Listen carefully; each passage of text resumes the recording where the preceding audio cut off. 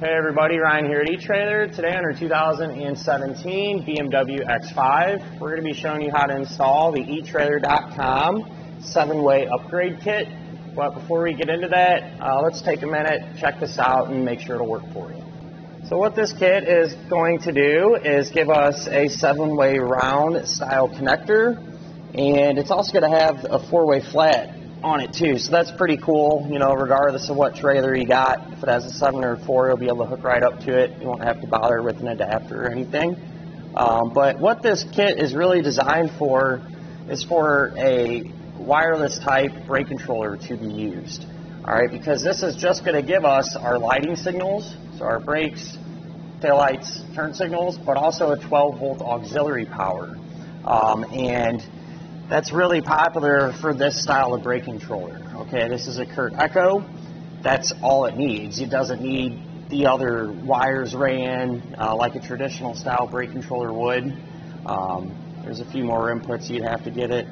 Um, if that's what you're looking for, if that's what you're trying to do, say put a Redarc or, or some type of regular style brake controller on the dashboard, then the other kit, the universal brake controller install kit, would be more appropriate. But got a wireless one.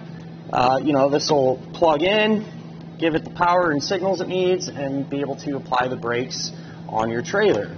Uh, with that said, too, you know, there's other purposes for this. So let's say maybe you have uh, a pop-up camper or something, and it doesn't have trailer brakes on it, but it might have a battery on it to operate the, the pop-outs and things like that. Um, what this could do, as long as the camper is wired up properly, is this could actually trickle charge or maintain that battery on the camper whenever you're towing it. That way it's ready to rock and roll when you get there. So uh, that's another reason that you could use something like this. I do want to mention in order to use this though, you are going to need existing four-way flat type wiring because this is going to plug into that and get some signals from it. Um, on our vehicle today, we use the Curt Universal Kit um, worked out really well, so you could always go with that. Or if you happen to have factory, maybe BMW wiring, as long as that four-way flat's functional, you know you'll be in pretty good shape. Aside from that, though, there, there's really not a whole lot to this. You know, it's going to convert that existing four-way into the seven-way and give you that 12-volt power. So if you got a wireless brake controller or you're trying to charge a battery, this is going to be a great solution for you.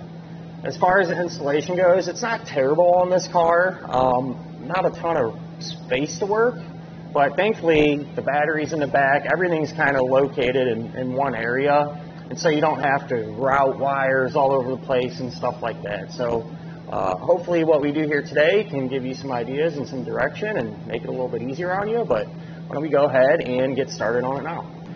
To begin our installation, the very first thing that we're going to do is grab our seven-way connector end here and just kind of prep it. Uh, easier to do this off the car instead of underneath it. So on the back side of it here, you're going to have several wires coming off of it. The white one will be a ground. Black one will be our power wire. The yellow and blue, uh, that's for reverse light and electric uh, brake output, and we're not going to be using those uh, for our situation as majority of you out there won't be either. So I just folded them over, taped them up, the yellow and blue wire. The black one, so these are going to have pre-attached butt connectors on them, which work fine. I like to upgrade though to a heat shrink style because it ends seal up and just help protect against corrosion a little bit better.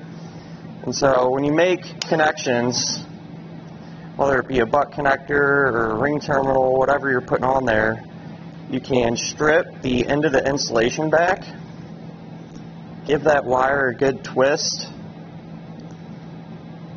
Put the butt connector over it and crimp it down. At this point we can mount up our bracket and on the bottom of our fascia here there's a support bracket with an 8 millimeter head screw. I pulled that screw out and just put a couple of small washers on it and I'm just going to use this to mount up our bracket. I think it'll work pretty good and be more than enough in terms of uh, being secure.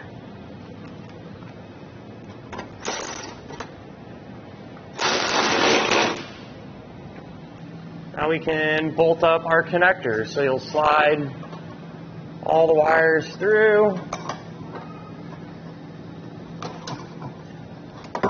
Push it into place, and then on each corner, first we'll take this four-way and slide that into place there. And in each corner you can take a screw, push that through. Then on the back side of it, you can put on a flat washer, a split lock washer, and a nut. So get this one started and then use that same hardware for the three remaining corners. So I got our screws tightened down, um, and now what you can do is take this four-way flat, and that's going to plug into our existing four-way flat wiring. What I like to do is just use some dielectric grease on the terminals. That'll help prevent corrosion and stuff in the future. And this is just going to plug directly in. What I've done is just made this a semi-permanent connection. Once I had these four ways plugged in, I wrapped it in some electrical tape and then just put a zip tie around it, uh, just so it doesn't, you know, accidentally come down over time. So what I've done now is that white wire with the pre-attached ring terminal, that is a ground, and so there's a metal flange that kind of runs through here because you don't have a ton of great spots to do this. But this metal flange worked out pretty well. Um, you know, I cleaned it off real good to get it to bare metal and then just used a self-tapping screw to secure the ring terminal to it. Now with that done, we can go up top and try to locate a spot where we can drop our power wire down. That way we can hook it up to the one coming out of our seven-way here. If you open up the hatch on the driver's side, there's a, a, usually a panel here. You can pop that out. It just pulls away. But kind of buried way down in the corner, there's going to be a grommet. And ours was already drilled because you have this four-way wiring drop down there. Um, so that's what we're going to use to, to route our power wire uh, down from inside the vehicle out. If you're, you know, if, if you need a, to use that grommet, it's fine. If it's not already drilled out, just take a small bit, drill down through there, um, and we can push push our wiring through. And I'll probably just run maybe four or five foot through uh, and then leave the rest up top here. Back underneath the vehicle, our power wire is going to drop down kind of from that corner there and route over through here. And there's a lot going on under here. Do your best to avoid any hot parts, especially. Nothing really moving back here, but um, you know, do the best you can. And here in a minute, once I hook this up, we'll clean all this up and get it secured. But with that said, so our power wire is going to get hooked up to the other end of our butt connector. Do that the same way.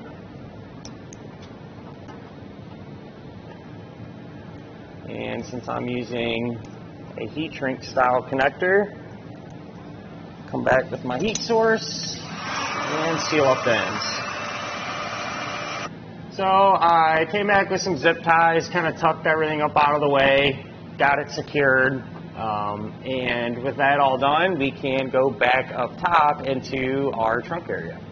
You need to gain access to our battery, so if you open up your floor covering, the battery should be underneath this plastic compartment, and looks like it's held in place with a handful of these 8 millimeter type screws. A couple up here, maybe a few more over on the side. So we'll just work our way around and, and pull them all off. Got the screws removed, and that's all that was holding it down. So we can lift up our compartment here and set it off to the side. So back in this compartment here, I took our circuit breaker and mounted that up. Um, just two self-tapping screws, run it down, and you're going to have two nuts on each post or on two nuts total, one on each post. Remove those.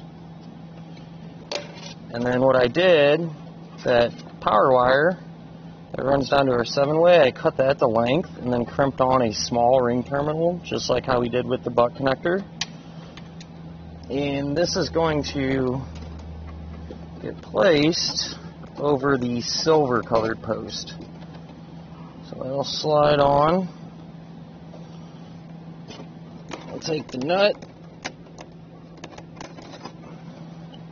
get that going. You want to tighten that nut down with a 3 8 socket, and you don't have to crank down on these by any means. I usually just get it hand tight, and then come back and you know give it another bump or two for good measure.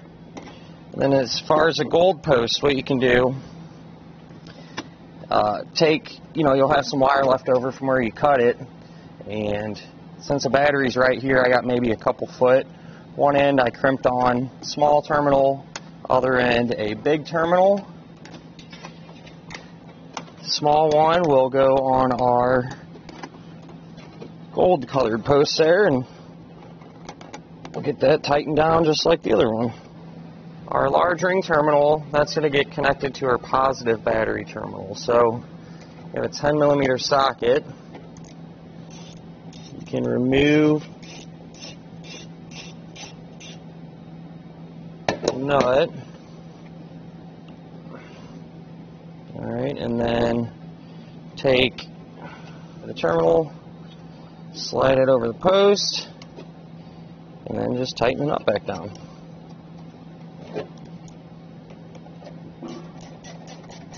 It is a good idea to test your wiring to make sure that it's working properly. Um, I'm using this tester as opposed to plugging into our trailer. That way, if our trailer has any issues, you know, that could potentially mislead us into thinking it's something we did on our vehicle side. But uh, with that said, we have our 12 volt auxiliary power back here. That's what's lit up now. We'll try our left turn, our right turn. We'll hit our brakes and try out our tail lights. Now that we know everything works properly, we can go ahead and put everything back together inside here. And that'll finish up our look at and our installation of the eTrailer.com RV 7-way upgrade kit on our 2017 BMW X5.